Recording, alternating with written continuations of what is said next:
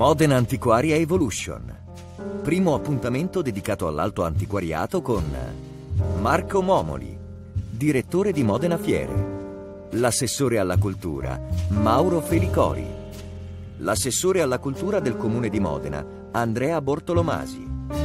Francesca Moratti, responsabile di Modena Antiquaria. Pietro Cantore, presidente Associazione Antiquari Modenesi. E Lucia Peruzzi curatrice della collezione Galleria Biper. Presenta Lorenza Cerbini, giornalista del Corriere della Sera.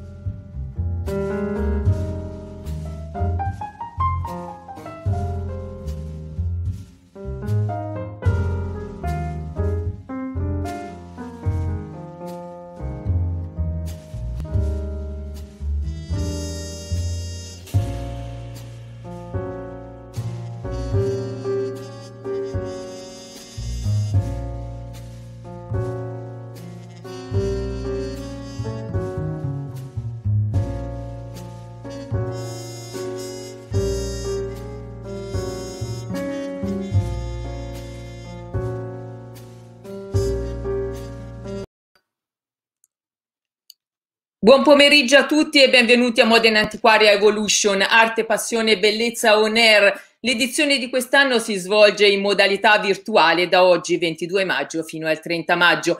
Mostra di alto antiquariato, meta di amanti dell'arte, collezionisti, esperti del settore alla ricerca di pezzi di qualità per musei e grandi collezioni internazionali. Si tratta di nove eventi in nove giorni per dialogare di arte, antiquariato, cultura in diretta streaming sui social e sui canali di Modena Antiquaria. In apertura subito i nostri ospiti, qui diamo il benvenuto a Marco Momoli, direttore di Modena Fiere. Buonasera. Benvenuti. Buonasera. È un piacere per me portare i saluti anche a nome del mio presidente a tutti quanti e aprire così ufficialmente questa prima edizione di Modern Antiquaria Evolution. È un'iniziativa che non, non vuole e non potrà mai essere una, una, fiera, una, fiera fi, una, fiera, digitale perché la vera fiera per noi è la fiera fisica, però voglio essere un, nove giorni di incontri sui temi cari e Modena Antiquaria, quindi sui temi dell'antiquariato ed è quindi un grande piacere che oggi apriamo questa, questa iniziativa e so, voglio ringraziare tutti quanti i partecipanti, voglio ringraziare l'assessore Ferricori, l'assessore Bortolamasi, voglio ringraziare anche gli sponsor e la Biper in particolare che ci hanno voluto seguire anche in questa nuova esperienza digitale. Quindi buon lavoro a tutti. Direttore, i numeri di Modern Antiquaria Evolution. Ma I numeri di Modern Antiquaria Evolution sono quelli che dicevo prima, cioè sono una nove giorni di incontri. Noi abbiamo cercato di coinvolgere in questo tutti i nostri più importanti e affezionati clienti eh, perché pensiamo che sia giusto, non, pur non potendo fare la fiera fisica, dare un segnale di attenzione e di continuità a tutti quelli che ci seguono in questi, in questi periodi difficili, quindi eh, galleristi, antiquari e collezionisti. Quindi adesso vedremo, nei prossimi giorni ci auguriamo che questi incontri vengano visti e se- seguiti da, da, molte persone. Le aspettative sono buone, l'interesse che abbiamo avuto in questi giorni di, tramite le telefonate, i contatti che abbiamo avuto è notevole e vedremo, speriamo in bene. Sono curiosa di sapere perché nasce e si consolida proprio a Modena una fiera di settore così trainante. Ma Modena è una, è una, città che ha nella sua storia, nel suo DNA, una particolare attenzione alla cultura in generale e soprattutto all'antiquariato. È sempre stata un centro eh, di veramente importante a livello nazionale per tutto quello che riguarda l'antiquariato. Quindi è un po' nata da qui, eh, dal fatto che a Modena c'erano tante persone che all'antiquariato si interessavano, ci sono state per la storia della città tante situazioni che hanno potuto portare eh, a, alla presenza in città di opere, di capolavori di antiquariato e quindi da qui è nata questa manifestazione che poi negli anni eh, ha saputo imporsi come evento centrale in Italia, come evento di altissimo profilo, sempre più alto profilo in Italia. Questo poi sicuramente ve lo potrà raccontare anche meglio Pietro Cantore che ci segue da tanto tempo, ci aiuta da tanto tempo con la sua galleria nella, nell'organizzazione della manifestazione. Ma è proprio una situazione che è legata al territorio e quindi è, questo è anche importante perché per noi è importante riuscire a realizzare manifestazioni che abbiano un fortissimo legame col territorio. Grazie a Marco, a Marco Momoli, scusi. La parola a Andrea Bortolamasi, assessore alla cultura del Comune di Modena. Per i saluti. Grazie. Grazie, grazie. buon pomeriggio a tutti e a tutte. Eh, grazie per l'invito mi riallaccio a quello che diceva il dottor Momoli eh, del legame tra la fiera, l'ente fiera e il suo territorio e in particolar modo eh, del legame tra Modena Antiquaria che è giunta quest'anno alla sua 35esima edizione e la città. L'impegno è quello di eh, rafforzare sempre di più questo legame aprendo la città alla fiera e la fiera alla città anche con eventi off, eh, immaginando, e siamo al lavoro per questo, un eh, fuorisalone eh, che permetta ai visitatori che torneranno a febbraio in presenza di vivere a pieno la città. Una città che ha nella cultura e nella creatività uno dei suoi tratti distintivi, parte del suo DNA originale e soprattutto eh, ha eh, forse ancora poco conosciuto una eh, un patrimonio artistico, architettonico, culturale che solo negli ultimi anni eh, è divenuto metaturistica e che stiamo provando sempre di più a far conoscere in prima istanza ai nostri concittadini, ma eh, ai tanti turisti che negli anni mi auguro possano tornare nei prossimi, scelgono Modena come, come meta. Eh, e proprio per questo eh, fa particolarmente piacere essere qui eh, oggi per ripartire eh, dopo il Covid abbiamo deciso di candidare la città, la città creativa UNESCO per il cluster delle media arts.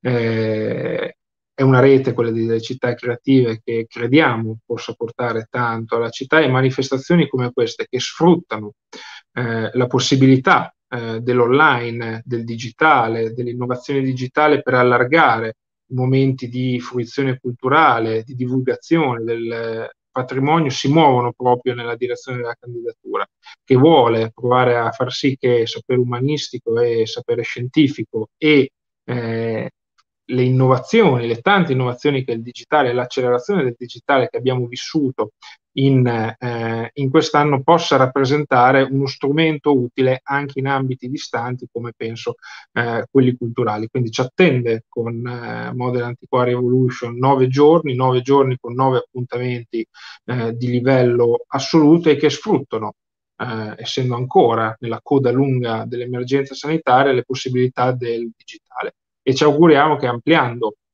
eh, la fruizione, perché lo si può seguire da un device o da uno smartphone o da un tablet, ci sia poi la voglia e la curiosità per tornare in presenza finalmente a Modena a febbraio alla 35esima edizione della Siamo fiera e vivere a pieno. Andrà benissimo, andrà molto molto bene l'edizione di febbraio. Grazie ad Andrea Bortolamaglia, assessore alla cultura del comune di Modena. Adesso la parola a Mauro Felicori, assessore alla cultura della regione Emilia-Romagna. Buonasera. Buonasera. Eh, io trovo meravigliosa la capacità di resistenza di Modena Antiquaria e anche così bello questo paradosso che Modena Antiquaria resiste attraverso l'uso delle tecnologie più moderne. È il mio mestiere, però ho incontrato molte volte mia carriera professionale, l'ultima come direttore della rete di Caserta cercato nel mercato l'unico porto che arriva in Sicilia, non di proprietà della legge di Caserta, ma il mercato antiquario. Il mercato antiquario di cui secondo me si sottovaluta largamente il ruolo fondamentale che gli antiquari hanno nella salvaguardia, nel restauro, nella valorizzazione del patrimonio. C'è un, non si, dà troppa importanza al ruolo istituzionale che è molto importante, ma troppo poco al ruolo dei privati, degli antiquari. Il fatto che Modena abbia questa fiera così importante è ragione di orgoglio, ma è anche per noi una ragione di sprone, perché dobbiamo far sentire intorno a questa fiera eh, l'orgoglio e l'impegno di tutta la regione. Questo è l'impegno che io prendo. Buon lavoro e buona fiera. intervento di Mauro Fericori, assessore alla cultura regione Emilia-Romagna. Ricordo che Modena Antiquaria, per chi si è messo in collegamento in questo momento, è la manifestazione di riferimento per chi ricerca, la, la, per chi ricerca l'eccellenza nel settore dell'antiquariato e ama anche confrontarsi con un'ampia offerta, soprattutto anche molto diversificata. Ma su questo ci dirà di qualcosa di più Francesca Moratti, responsabile di Modena Antiquaria. Buonasera signora Moratti. Eh, buonasera, buon pomeriggio a tutti. Sì. Buon pomeriggio, sì. Modern Antiquario Evolution On Air quest'anno, di cosa si tratta? Sì, diciamo che in questo momento noi saremmo dovuti essere all'interno dei padiglioni in quella che era la giornata di apertura della nostra mostra fisica eh, con tutti quei sentimenti di entusiasmo, di fermento, anche di adrenalina e di timore, un po' anche di stanchezza dopo tanti mesi eh, di lavoro che avrebbero comportato una fiera così eh, di livello così importante per, per, il nostro quartiere. Ci abbiamo creduto molto, purtroppo aspettavamo una buona notizia dal governo che non è arrivata, per cui il direttore Momoli eh, mi ha chiesto insomma, di pensare insieme a lui, di trovare un'idea che potesse dare voce diciamo, a questo momento di, di, di buio eh, della mancanza della presenza, della realizzazione della, della mostra fisica e non volevamo assolutamente, abbiamo escluso da subito una, un evento, una fiera online, una fiera virtuale, perché proprio per la tipologia stessa della manifestazione che è così emozionale, che ha così necessità di un'empatia diretta con, il, con l'opera e anche, vorrei dire, un rapporto diretto tra acquirente e compratore, per cui eh, ci sembrava un evento che sarebbe stato muto. Invece noi abbiamo, volevamo dare una voce, volevamo dare una voce ai protagonisti, ai protagonisti della nostra manifestazione, che sono in primis ovviamente le nostre gallerie, le gallerie prestigiose che ci seguono eh, da tanti anni, sempre più numerose, sempre più eh, importanti, e una voce anche alle opere, cioè ai capolavori. Signor Ratti, appunto, quali i contenuti della manifestazione di quest'anno? Quest'anno la manifestazione, come già stata detta precedentemente appunto da chi mi ha preceduto, dal direttore, sono, un, sono, nove giorni di incontri, nove giorni online, uno al giorno proprio per ricreare questo legame con la fiera che sarebbe stata di nove giorni. E sono un'alternanza di voci che approfondiscono i temi della manifestazione e ne anticipano invece alcuni di, eh, nu- di novità eh, insieme a tutti i protagonisti, appunto tutti gli attori, antiquari, storici dell'arte, direttori di musei, giornalisti, esperti, che si alterneranno in questa, appunto, in questa narrazione perché ogni opera, come dicevo, accennavo prima, ha una storia dietro ed è quella che vogliamo raccontare attraverso questo, questo ciclo di incontri. Appunto, parliamo di novità, novità anche per chi ama un giardino splendido e importante, non solo per il verde ma anche per l'arredo e per le opere d'arte, per le fontane, per i capitelli, per le vasche in pietra, tutto quello che si può mettere di, di bello e di artistico in un giardino. Elementi decorativi architettonici per giardini storici e anche ville di campagna. Questa è una delle novità. E allora, i contenuti di Modena Antiquaria naturalmente sono tradizionalmente quelli legati alle opere d'arte, quindi con questa grande vetrina e, oltretutto vorrei sottolineare la, la, capacità e la forza di Modena Antiquaria anche come punto di momento di business, perché Modena Antiquaria è una fiera in cui si compra molto e si vende molto, quindi è una fiera molto attesa dalla, dal pubblico e che è molto fedele. Poi naturalmente, come accennava lei, c'è il discorso di Petra, che invece è un, è un altro salone che viene, è un salone che viene eh, svolto in contemporanea Comoda e Antiquaria da ormai 27 anni, che ha un'identità molto precisa, molto specifica su quello che invece tutto ciò che sempre rimane all'interno ovviamente dell'opera d'arte antica, ma, tu, ma legato al mondo eh, dei parchi dei giardini e delle ville. E questa è una fiera che eh, ha perso negli ultimi anni un po' della sua identità e della sua connotazione legata appunto a questi aspetti scenografici. Inizialmente nei primi anni si aveva la, la sensazione di entrare davvero in un parco fatato, incantato. Il nostro obiettivo, l'obiettivo di Modena Fiere quest'anno è proprio quello per l'edizione 2022 di eh, rinnovare sostanzialmente in modo molto concreto e molto incisivo il progetto di Petra attraverso il, il riportare dentro una 1800 metri quadrati circa di verde scenografico, una selezione molto attenta, quindi una riduzione forte delle, delle gallerie che saranno eh, privilegiate, verranno privilegiate quelle che hanno appunto una, sono specializzate nell'ambito appunto di opere d'arte ed antico per esterno, l'istituzione di una commissione vetting, cioè di esperti che valuteranno le opere e questa bellissima novità che avremo anche di questo concorso progettuale di giardini all'interno del padiglione ehm, costituito, diciamo, organizzato insieme alla Fondazione Biohabitat di Bologna e anche agli architetti italiani paesaggisti, che porterà, credo, dei temi, aprirà una finestra su dei temi nuovi molto importanti, giardino storico, paesaggio, che ci porterà anche a poter intercettare dei segmenti nuovi di pubblico e di interesse anche più vasto. Tra i, tra i progetti di Modena Antiquaria anche uno che riguarda la scultura, nello specifico? Eh, il progetto della scultura sarà la vera, la vera novità del 2022 è un progetto che nasce così da una riflessione di poter potenziare un po' la proposta eh, di Modena Antiquaria, creando uno spazio tematico dedicato solo per la scultura capolavori italiani dal XIII al XX secolo.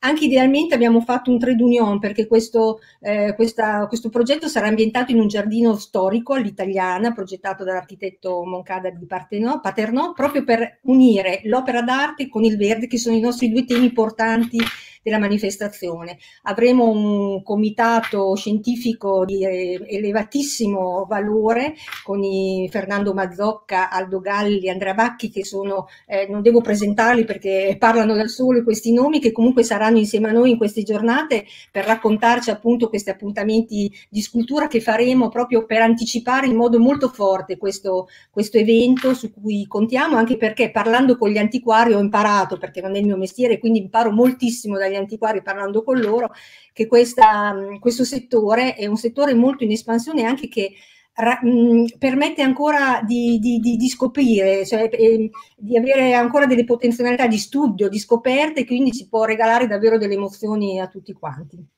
Grazie Francesca Moratti, responsabile di Modena Antiquaria, ed è con noi uno dei maggiori esperti di antichità italiani, ma anche in, a livello internazionale, perché ha vissuto tantissimo, tantissimo anno nei, tantissimi anni negli Stati Uniti a New York, Pietro Cantore, presidente dell'Associazione Antiquari Buodene- Modenesi. Buon pomeriggio, buon pomeriggio. Buon pomeriggio. Antiartica, buon pomeriggio. Antiartica dal 1300 fino al XX secolo, quindi tanta pittura, ma anche tanti oggetti e tanti maioli che quindi c'è davvero il rischio di soffrire della sindrome di Stendhal e anche un antiquario come lei, tra tanta bellezza, potrebbe anche perdersi a Modena Antiquaria?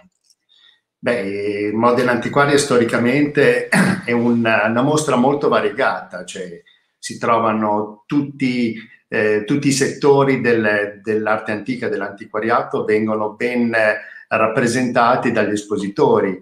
E storicamente a Modena, a differenza di tante altre mostre, vengono molto ehm, valorizzate, vengono portate le mobili eh, d'arredamento del 5, del 6, del 700, perché gli emiliani in definitiva amano gli arredi e quindi eh, sono studiati e, e, e coccolati in qualche maniera, però tutti dalla pittura, dalla scultura, agli arazzi, ai tappeti. È una mostra a 360 gradi e rispecchiano il, il mondo dell'antiquariato che a Modena veramente trova, trova la sua culla. Una mostra come, come questa eh, di Modena Antiquaria è, è, è, unica, è veramente unica e non, non ha uguali. Possiamo dire una delle maggiori europee. Presidente, intanto vorrei pregare il nostro regista Daniele Righi di mandare la prima parte di un video proprio appunto su Modena Antiquaria con le immagini di Alessandro Betti e Francesca Bertolozzi. Una mia curiosità, ma come è cambiato il mercato dell'arte antica dagli anni 80-90 fino all'inizio del nuovo millennio e fino ad oggi? Beh, diciamo che è cresciuto, si è fatta molta chiarezza, molta chiarezza sugli oggetti che valgono e quelli che non valgono, quindi eh, le cose importanti, quelle studiate, quelle valorizzate, eh, come ben in uno stato di conservazione ottimale, hanno un valore. Le altre cose hanno, sono, hanno, sono, state un po' eh, lasciate indietro Comunque ora l'antiquario è un professionista molto attento, molto bravo, molto colto e ci raffronta eh, con anche dei clienti, dei potenziali clienti che eh, sono molto esigenti, quindi vogliono tutti questi, questi ingredienti, quindi eh, per comprare un dipinto antico eh, si deve avere uno studio alle spalle, si deve avere una certificazione per lo stato di conservazione, eh, il soggetto, insomma sono mille, mille, sfumature, però è un momento anche molto entusiasmante per, per avvicinarsi a questo mondo. Ci sono anche tanti giovani che si avvicinano, che guardano e sono, sono curiosi. Ecco, qua abbiamo un po', diciamo, uno spaccato della, della manifestazione di Modena Antiquari, che è una mostra molto, molto elegante dove le, le, eh, gli, gli oggetti vengono eh, ben... Infatti, vedendo scorrere le immagini, sì. sono rimasta anche molto colpita dalla qualità delle opere esposte. Queste sono immagini che si riferiscono anche alle passate edizioni di Modena Antiquaria. Quindi la qualità è veramente molto alta. La qualità è alta, ma è una scelta eh, obbligata, una scelta obbligata per partecipare a una manifestazione eh, come questa, è una scelta obbligata per affacciarsi a un mercato dell'antiquariato eh, molto, molto maturo. E quindi eh, tutti gli antiquari che adesso sono diciamo sul mercato, un mercato di livello eh, come, come, questo, sono molto agguerriti e molto, molto preparati, quasi tutti di seconda o di terza generazione, quindi non dimentichiamo anche la tradizione che c'è dietro eh, un antiquario. Quindi il, ehm, Presidente, una domanda. Il mercato è cambiato anche in base all'avvento dei social? Quanto ha influito, soprattutto dal partire dal 2007 ad oggi, eh, il cambiamento che c'è stato a livello proprio tecnologico e di informazione? Beh, come, come si è sempre detto, l'emozione che dà un'opera d'arte in presenza e, e imparagonabile rispetto al, al, al, all'opera virtuale. I social sono importanti per eh, approcciarsi, per avvicinare il cliente, per dare la visibilità, come stiamo facendo in questo momento stesso. Cioè noi stiamo dando visibilità e facciamo capire che cos'è una mostra eh, come Modena Antiquaria, per, per eh, entrare dentro come uno stand, come questo bellissimo stand di, eh, di Angelo Enrico, direi, e che porta dipinti del, dell'Ottocento di alto livello, però non sarà mai sostituibile. È importante per avvicinarsi a un, un vasto pubblico, eh, ma dopo il lavoro lo deve fare, deve fare l'antiquario, parlando e comunicando, e... ma come primo passo è importante. Presidente, ma durante la pandemia che tutto si è fermato, si è fermato anche il mercato dell'antiquariato?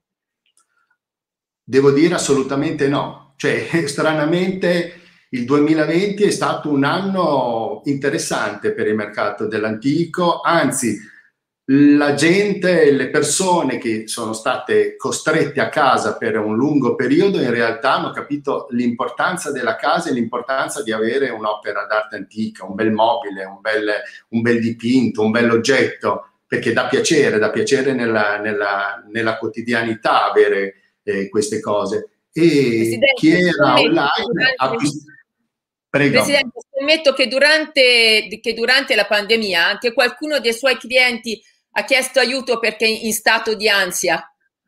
Un aneddoto? Ma, ma cosa vuole che gli racconti? Io c'è una cosa stranissima.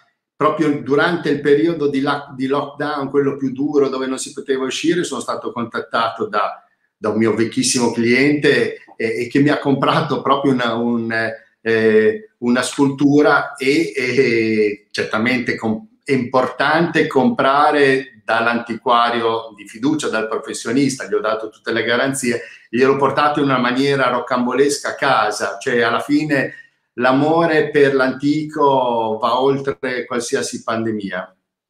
Che prospettive ci sono quindi per il futuro, per il mercato dell'antico? Ma io direi che ci sono delle prospettive assolutamente ottime, lo dimostrano anche tanti dati delle vendite d'asta, di, degli studi di settore. Fra l'altro, e abbiamo come mh, gruppo Apollo, Associazione Antiquaria d'Italia, abbiamo commissionato uno studio dedic- eh, a Nomisma proprio sullo studio eh, del, del, mercato dell'arte eh, a 360 gradi, antico, moderno, contemporaneo. Sarà molto interessante eh, vedere mh, in che direzione stiamo andando, ma secondo me le prospettive sono veramente ottime perché parlando con tanti clienti, le, le vendite ci sono, ci, c'è molto entusiasmo, i prezzi sono interessanti, adesso è un bel momento per comprare, quindi eh, c'è fermento, c'è fermento. Presidente ci, delle, Presidente, ci sono delle tendenze in corso in questo momento? Ma il, le tendenze, ormai il nostro è un mercato dove tutti i settori sono già stati ben studiati, Adesso c'è questa bella iniziativa della manifestazione eh, di Modena Antiquaria che accende un focus sulle sculture che siano dal 3 al, al XX secolo, non importa, però tendenzialmente la tendenza la crea l'antiquario, cioè la passione che ha l'antiquario sulla pittura, sul mobile o sull'arazzo o, o che altro, perché è importante crea- il, il, il, il, trasmettere, trasmettere l'amore per, per, questo mercato. Alla fine la figura dell'antiquario è centrale, cardine in tutto, in tutto questo meccanismo. Lei ha iniziato questa attività molto molto giovane, mi sono molto ben informata. Quindi se lei dovesse rivolgersi ad un giovane oggi che vuole entrare in, in questo mercato, qual è il suo suggerimento? Da dove dovrebbe partire? Ma sicuramente il, il, visitare le botteghe degli antiquari, i negozi, parlare con gli antiquari, eh, raffrontarsi, capire, attingere, poi anche molto visitare i musei, perché si parla, parte anche da questo. Noi anche la, la, manifestazione è molto legata alla Galleria Estense, infatti vediamo il busto di Bernini raffigurante Francesco I anche sul nostro schermo venire a vedere una mostra d'antiquariato come questa è, è, è, un'esperienza di vita straordinaria perché uno passa da uno stand all'altro, vede uno spaccato da, dall'800 al 700 al 600 di tutto e parlare, parlare con gli antiquari perché adesso la, questa generazione di antiquari è molto predisposta a comunicare, a comunicare. Quando entra nella mia galleria, entra un giovane di 18-20 anni mi dà una gioia enorme, enorme, perché è il futuro. Bene, intanto ringrazio Pietro Cantore e ritorneremo con lei più tardi perché adesso abbiamo un, un, un omaggio a Biper Banca che è da sempre presente nella scena culturale di Modena Antiquaria, che è possibile anche grazie al sostegno di Biper Banca. E, um, Lucia Peruzzi, storica dell'arte e curatrice della collezione di Biper Banca, presenta due capolavori del Museo Aziendale Galleria Biper. I video sono parte della rubrica Tesori d'arte per conoscere in maniera più approfondita la storia degli artisti, gli aneddoti legati alle loro opere e tante tante curiosità. E invito la regia a mandare in onda l'adorazione del bambino con San Bernardino, il Padre Eterno Benedicente di Cristoforo Canosi da Lendinara e l'altro video Rinaldo e Armida di Alessandro Tiarini e poi saremo con Lucia Peruzzi.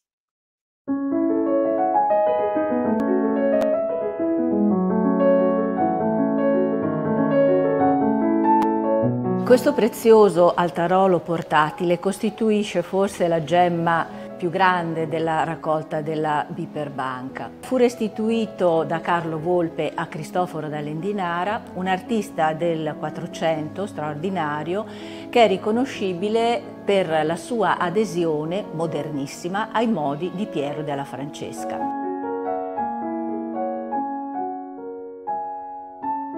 Cristoforo da Lendinara aveva lavorato a Ferrara alla metà del Quattrocento alla realizzazione eh, in tarsie eh, dello studiolo di Leonello d'Este e aveva conosciuto probabilmente in questa occasione Piero che era passato appunto dalla città di Ferrara. In questa anconetta la visione sublimemente prospettica del grande maestro si illumina con una luce molto più naturalistica che ammorbidisce le forme, che fa risaltare i colori, che mette in evidenza anche la verità dei volti dei personaggi che vengono rappresentati.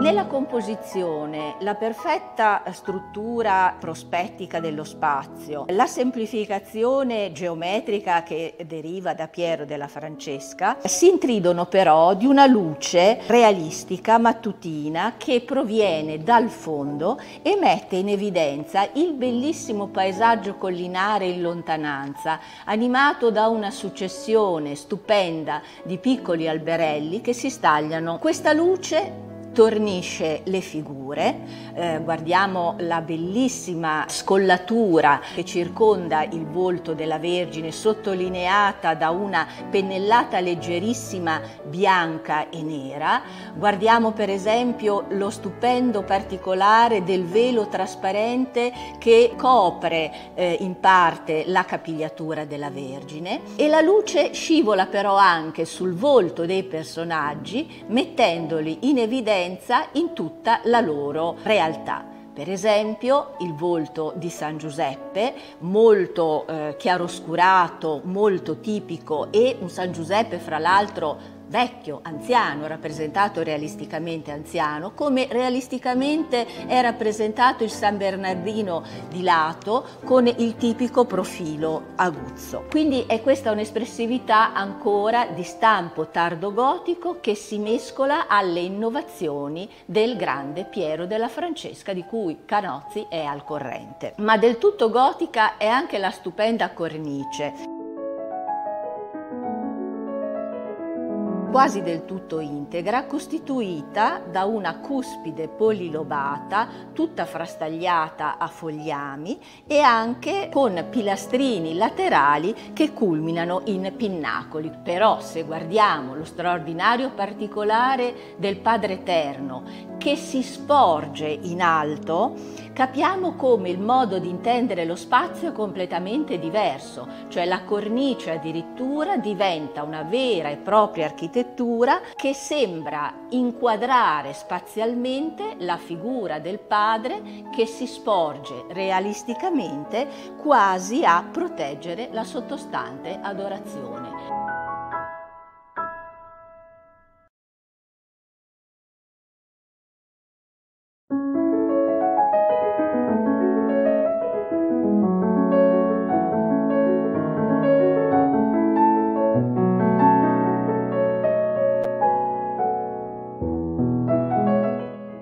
Pittore bolognese Alessandro Tiarini rappresenta un passo tratto dalla Gerusalemme liberata di Torquato Tasso, il momento in cui la madre Armida, che era stata abbandonata da Rinaldo, tenta di darsi la morte con un dardo acuminato, ma viene fermata dall'impetuoso sopraggiungere dell'amato stesso.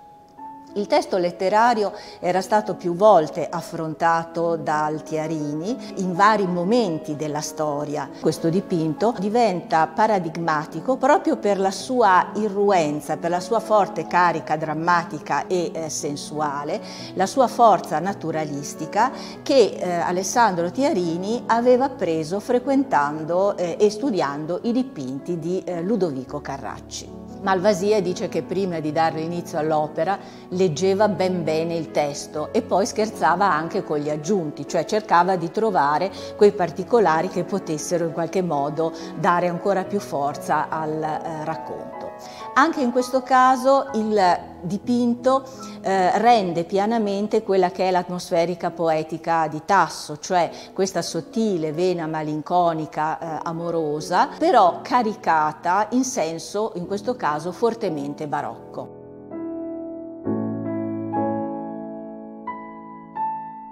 Infatti Tiarini rappresenta quell'idea tassesca appunto del contrasto tra la punta acuminata del dardo con la splendida mollezza del seno candido, eh, però la carica attraverso questa composizione in diagonale che sembra quasi eh, venirci addosso, la carica di questa tensione erotica che supera di gran lunga quella che era la malinconia tassesca. La maga vinta aveva già deciso di uccidersi e come dice Tasso, strale scegliea il più pungente e forte, già tinta in viso viso di pallor di morte, quel pallore che noi vediamo appunto ripreso da Tiarini. Ma quando sopraggiunge di Rinaldo e da tergo ei se la venta e il braccio prende che già la fera punta al petto stende. Quindi Rinaldo da dietro l'ha fermata proprio nel momento in cui lei sta per configgersi la punta. Ma ella cadea, quasi fiore mezzo inciso, piegando il lento collo e cedendo tutta lungo la diagonale del melodrammatico gesto, lei si abbandona nelle braccia di Rinaldo. Ei la sostenne e intanto al bel sen le rallentò la gonna. Quindi Tasso stesso dice che lei si apre la veste, ma in questo caso Tiarini diciamo la apre in modo molto abbondante per accentuare appunto l'erotismo del seno. Mai si era visto un seno così apertamente mostrato. È la stessa appassionata retorica espressiva che noi ritroviamo anche nella stupenda decorazione della Basilica della Ghiara a Reggio Emilia, di cui Tiarini era stato uno dei protagonisti.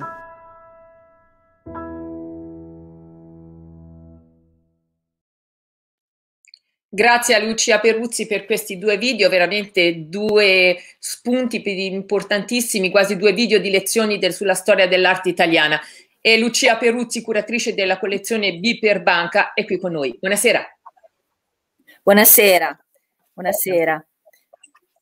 Eh, io parlerò un attimo della raccolta Biper e del museo che si è inaugurato nel 2017. Eh, nella, mh, in una cornice espositiva eh, piccola ma molto interessante, molto suggestiva. La collezione modenese della banca riunisce almeno un centinaio di opere eh, che eh, vanno dal 300 fino alla fine del 700 all'interno dell'ambito culturale emiliano, non solo bolognese e modenese, ma anche travalicando gli stessi confini estensi della stessa città di Modena. Eh, nelle sale che sono state inaugurate nel, mille, nel 1900 scusate, nel 2017 sono state esposte le opere più interessanti, ma anche le più delicate, tavole del Rinascimento, tavole del Cinquecento eh, e anche pale d'altare particolarmente significative nel nostro, nel nostro contesto culturale. Mi riferisco in particolar modo ad una bellissima pala d'altare altare di Ludovico Lana e a un'altra stupenda, straordinaria tela eh, di Lanfranco, eh, una tela che proviene da Napoli e che era stata eseguita per, per, il viceré di Spagna. Quindi opere di, eh, non solo di grandissimo valore, ma anche eh, di eh, straordinaria importanza dal punto di vista storico. Eh, nelle sale espositive eh, vengono, eh, vengono esposte non solamente queste opere permanenti, ma riusciamo anche di tanto in tanto, circa prima che la pandemia purtroppo ci fermasse, circa quattro volte l'anno eh, a organizzare delle esposizioni eh, legate o a un particolare evento modenese come per esempio il Festival della Filosofia oppure legate ad altri particolari approfondimenti e argomenti della collezione stessa. Per esempio nel 2018 è stata aperta una mostra eh, direi non solo bella ma anche addirittura commovente perché eh, siamo riusciti a portare a Modena eh, tre opere provenienti dall'Aquila che sono rimaste, che erano rimaste in deposito, fra l'altro in condizioni piuttosto, eh, piuttosto delicate, eh, sono state portate a Modena. Si tratta di due tavole di cola della matrice e un'altra stupenda pala d'altare, un politico, anzi eh, cinquecentesco, eh, del maestro dei politici Crivelleschi, eh, che nell'occasione sono state anche restaurate. Eh, adesso, per esempio, eh, in questi giorni siamo riusciti ad aprire, dopo mesi che la mostra era in realtà già pronta, eh, un'interessantissima esposizione eh, in collaborazione con il Museo Civico di Modena. Un'esposizione che ha come titolo Corrispondenze barocche nella quale, secondo eh, un eh, sottile, affascinante filo rouge, eh, si è creato un dialogo tra i principali maestri barocchi eh, diciamo di scuola modenese, di scuola estense. Eh, mi riferisco per esempio eh, a opere di eh, Luca Ferrari, Michele De Subleo, sempre il nostro Ludovico Lana, eh, due bellissimi dipinti di Guercino e il eh, pittore rarissimo Jean Boulanger che era stato il protagonista straordinario della decorazione del Palazzo Ducale di Sassuolo. Eh, sono, è una esposizione anche molto interessante dal punto di vista collezionistico perché noi abbiamo preso l'occasione della chiusura di alcune sale del Museo Civico eh, che raccolgono la collezione Campori e la collezione Sernicoli per ospitare alcune di queste opere a confronto con le nostre.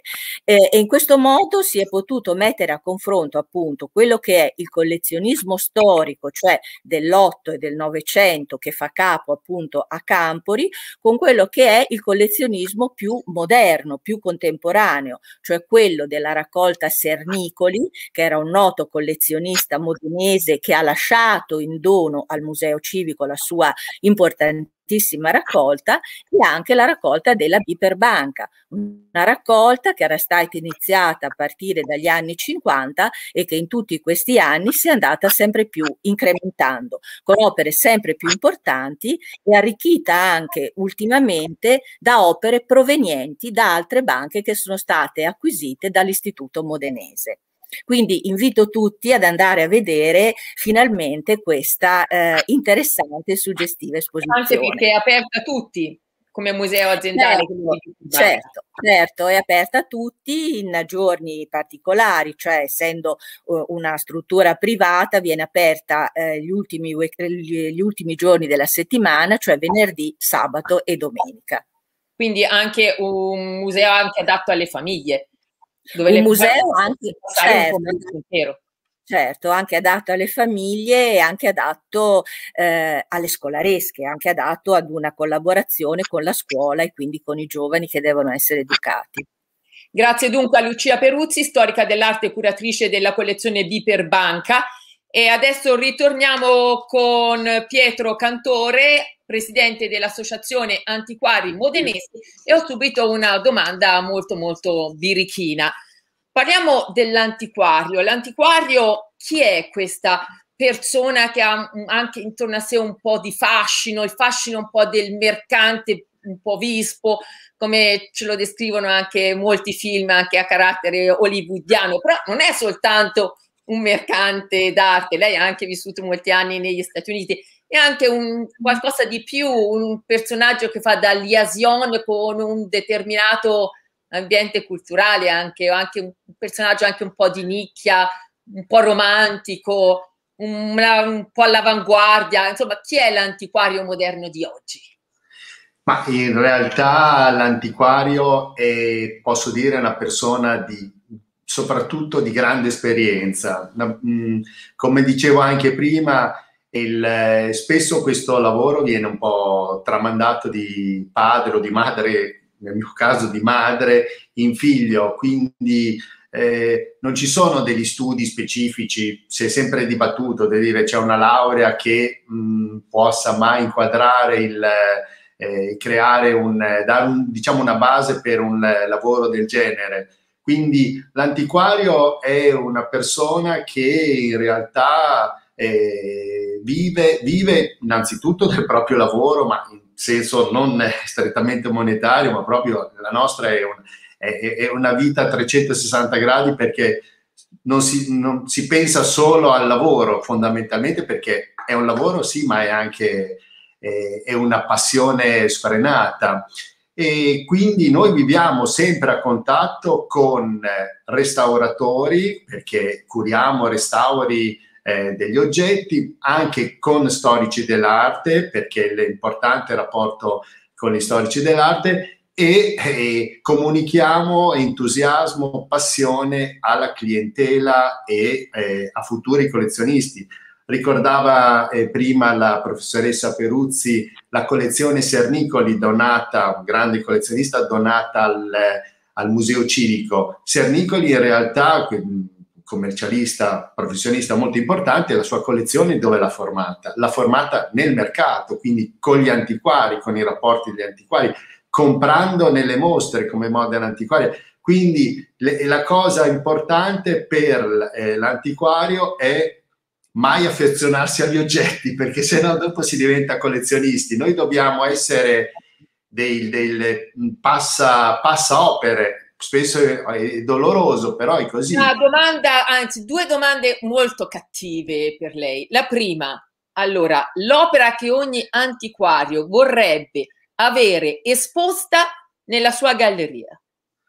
Ma adesso mi sta facendo vedere proprio in questo momento un'opera di, direi di Guido Reni, ecco questa io la vorrei avere, l'opera che si vuole avere, l'opera che si vuole avere eh, in realtà è l'opera che, che, non si ha, è l'opera che è sempre in divenire, perché è così, cioè il, l'opera che si vede nei musei, ma cioè, i quadri, non so, uno va a vedere la mostra eh, su Guercino, su Elisabetta Sirani e vede un quadro straordinario all'Uffizio, alla Galleria Estense, però quelle devono stare lì, obiettivamente. Allora, mm, Cantore, io me la immagino lei, no? Mentre è a un'asta, insomma, di quelle internazionali, di quelle super milionarie, quelle tutti vorrebbero essere in quel momento, è lì che è pronto a fare la sua offerta. L'opera che non è riuscito ad avere, semmai durante un'asta, e proprio per un soffio.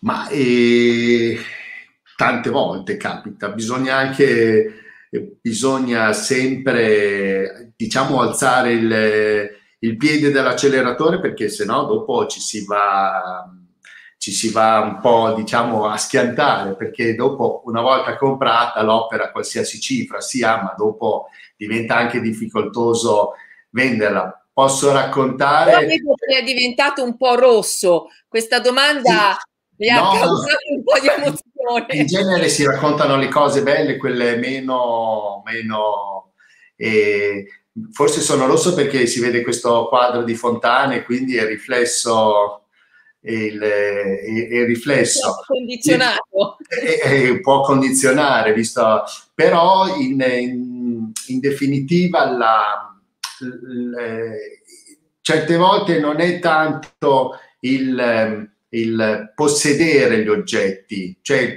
il possesso per noi è importante, però è più importante, a me dà più soddisfazione quando l'oggetto, eh, una volta studiato, preso, va a incasellarsi in una collezione o va in mano a una persona che la ama, è una sorta di, di adozione, perché è così. Quando si vende qualcosa e si dà a qualcuno che la ama come quanto te, dà una soddisfazione enorme, cosa che adesso capita molto di più che rispetto agli anni 90 dove c'era tutto era una, un, come dire, un mondo completamente diverso e ci si raffrontava anche a, a, tante persone che amavano l'antico ma fino a un certo punto, era una questione di moda, di status simbolo. Adesso c'è, c'è, chi, c'è l'acquirente, l'acquirente è qualcuno che realmente vuole acquistare un pezzo unico. Noi stiamo parlando di tutti questi oggetti che vediamo nelle mostre vediamo, viviamo in una, in una società di multipli, di milioni di pezzi, di centinaia di migliaia di pezzi, anche nel contemporaneo, multipli di multipli, l'idea il concettuale, eccetera. Tutti gli oggetti che gli antiquari hanno sono tutti pezzi unici e sono belli per questo. Ogni oggetto. Quindi vanno anche comprati per questo. Cantore, allora, lei è presidente dell'Associazione Antiquari Modenesi. Un'altra domanda scomoda. Qual è il ruolo oggi dell'Associazione Antiquari d'Italia e della Federazione Italiana Mercanti d'Arte? Allora, le associazioni hanno un ruolo fondamentale eh, perché appartenere a un'associazione eh, dà un prestigio, dà un senso di serietà, cioè se un antiquario che partecipa all'associazione degli antiquari modenesi vuol dire che è un professionista, è stato accolto, una sorta, un concetto di club. È importante per le mostre, anche se è molto importante avere questi patrocini. Modena Antiquaria è l'unica che vanta il patrocinio sia dell'Associazione Antiquari Modenesi, sia della FIMA e dell'AI.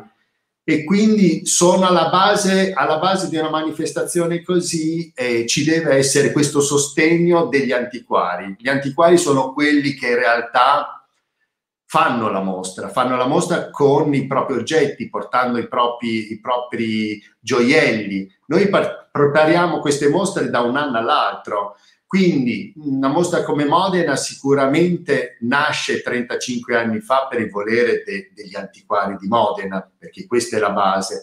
Poi la FIMA, la Federazione Italiana Mercanti d'Arte, ha dato un grosso impulso e negli ultimi anni devo dire che l'AI, l'Associazione Antiquari d'Italia, ha portato molta, molta qualità, perché l'AI è un'associazione come un club, è molto prestigiosa e aver sposato così virtualmente Modena Antiquaria è stato un bene per tutti, è stato un bene per, soprattutto per la, per la manifestazione e per il mercato, perché il mercato alla fine è fondamentale. Senta, cosa suggerisce oggi di comprare ad un collezionista?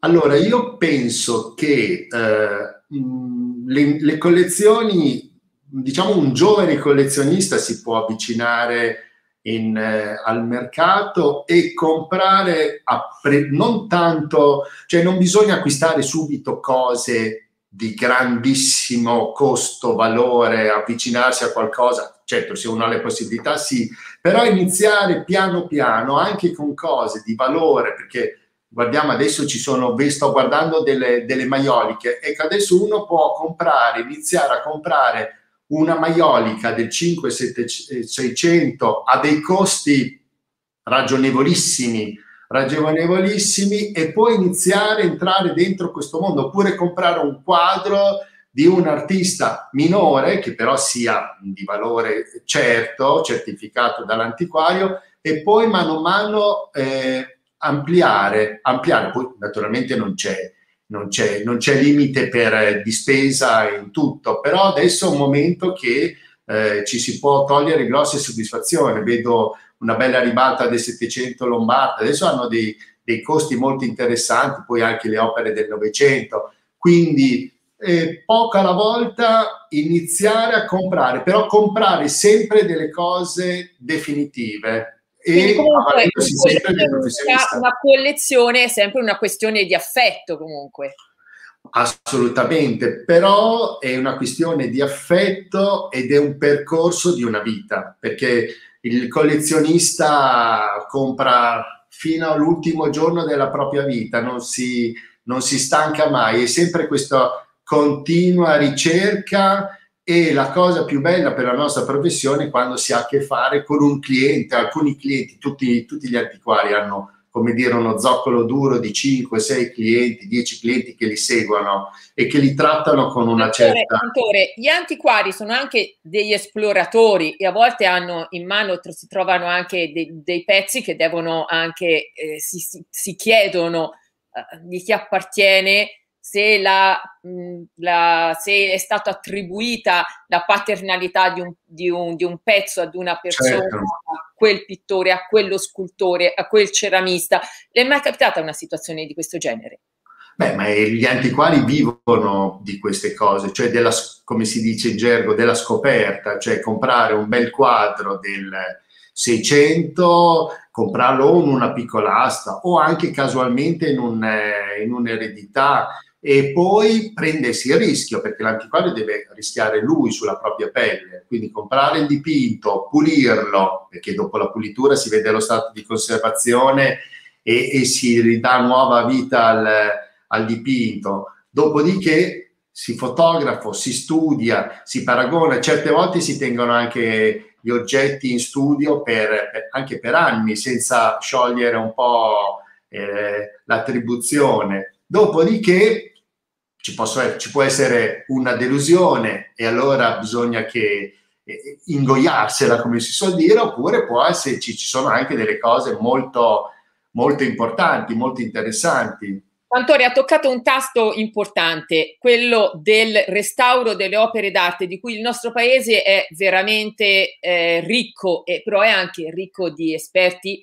quali sono ad esempio i restauratori. Uno dei centri più importanti per il restauro internazionale è ad esempio Firenze. Quindi il nostro è un paese che non ha uguali nel mondo proprio anche come storici dell'arte e per restauratori. Quindi come si colloca il nostro paese sul mercato internazionale in questo settore? Quindi nel settore del restauro e anche nel, nel settore proprio dei critici della storia dell'arte, che spesso vediamo anche ad esempio molti americani che vengono a studiare in Italia e poi diventano dei critici dell'arte anche molto molto importanti. Ci possiamo anche eh, chiedere a volte perché. Beh, certamente l'Italia è la, è la culla dell'arte, quindi non a caso la scuola di restauro più importante al mondo è qui, perché prima di tutto i restauratori restaurano per lo Stato, quindi parlava, dicevamo eh, Firenze, l'Opificio delle Pietre Dure, cioè lavorano per salvaguardare tutto il patrimonio storico, artistico, culturale eh, italiano, quindi museale. Dopodiché i restauratori lavorano anche molto per eh, diciamo le collezioni private che siano di eh, antiquari o di collezionisti.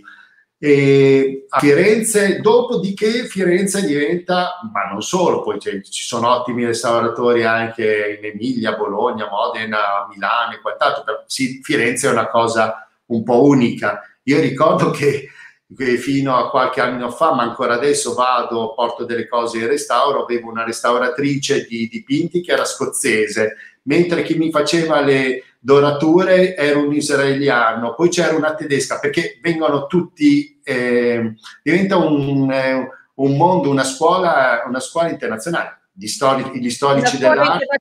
o un club per un'elite?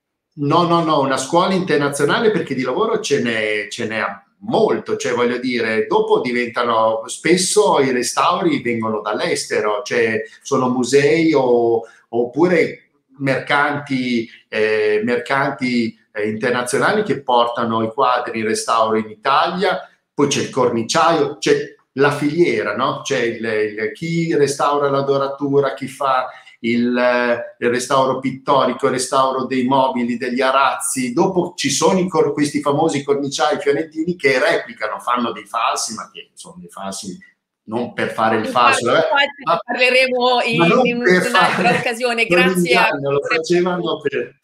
Poi gli storici dell'arte, naturalmente visto che c'è la materia, c'è la materia in, in, in Italia per, per, per, di studio, sono fra i migliori in Italia. Poi noi abbiamo, c'è, c'è anche molto da studiare perché nel 5, 6, 700 mh, era, l'Italia era un e anche dopo un centro di, di, di, eh, di produzione di, opere straordinarie, tutti i grandi artisti ne internazionali. Ne dovremmo, ne, dovremmo parlare, ne dovremmo parlare in un'altra occasione perché siamo a un minuto dalla chiusura di questa diretta su Modena Antiquaria. Purtroppo staremo volentieri con lei ancora per ore a discutere, anche a sorridere, a, mi piacerebbe anche becca, becca, beccarci un po' perché è sempre molto stimolante. Allora, in chiusura vorrei ricordare in anteprima che la 25esima edizione della mostra modernese si terrà dal 5 al 13 febbraio 2022 a Modena Fiere. Ricordo le novità, la prima edizione di scultura, capolavori italiani dal XIII al XX secolo, una nuova sezione espositiva che presenterà al pubblico e ai collezionisti opere scultoree di grande valore e suggestione e poi il significativo rinnovamento di Petra, XXVII Salone dell'Antico e della Decorazione e del Design per parchi e giardini. Modern Antiquaria Evolution è appena iniziata quest'oggi con questo evento e staremo insieme fino a domenica 30 maggio, ogni giorno con un appuntamento diverso. Intanto introduco la rubrica Il marmo che vola, cura di Marco Carminati. Si tratta di quattro appuntamenti a partire dal lunedì 24 maggio, quindi tra due giorni, con Paolo Liverani e la prima puntata sarà dedicata a Lao Conte in Vaticano. E adesso passo la parola a Francesca Moratti, responsabile di Modena, di Modena Antiquaria, per i saluti gli ultimi saluti e anche ai nostri ospiti e io intanto vi ringrazio per essere stati con noi. Arrivederci. Sì, grazie. Io ringrazio tutti e colgo l'occasione per sintetizzare che è proprio uscito da questo incontro la, l'importanza che Modena Antiquari ha avuto anche nel creare rete tra le istituzioni culturali, la città, abbiamo visto la, il nostro assessore, il busto del Bernini che la direttrice Martina Bagnoli ci concede in concessione per la nostra campagna da diversi anni, che è diventato oltre che il simbolo anche il nostro portafortuna e il riferimento, il sostegno, l'aiuto delle, associaz- delle associazioni di categoria del, del, settore dell'antiquariato, quindi è proprio un esempio virtuoso di eh, sinergia di rete di cui si parla spesso e qua è proprio si è concretizzato e portando Modena Antiquaria in questi anni a diventare, ad avviare un percorso di rilancio della manifestazione sempre più, sempre più importante e sempre più prestigioso.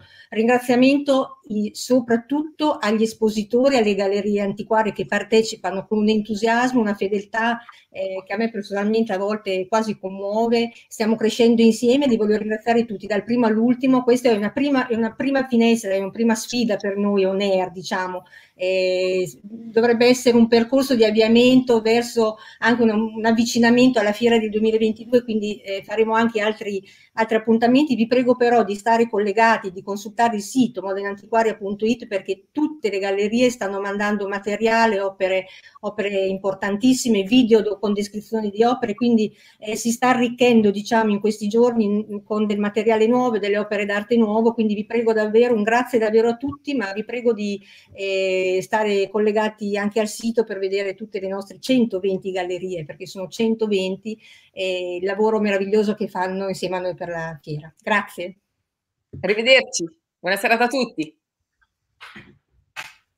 Modena Antiquaria Evolution ringrazia per averci seguito e vi dà appuntamento a domani, domenica 23 maggio alle ore 21.30 in diretta streaming con Scrigno d'arte, conversazioni d'antiquariato Storie dipinte, dal sacro al profano, dal XVI al XVIII secolo.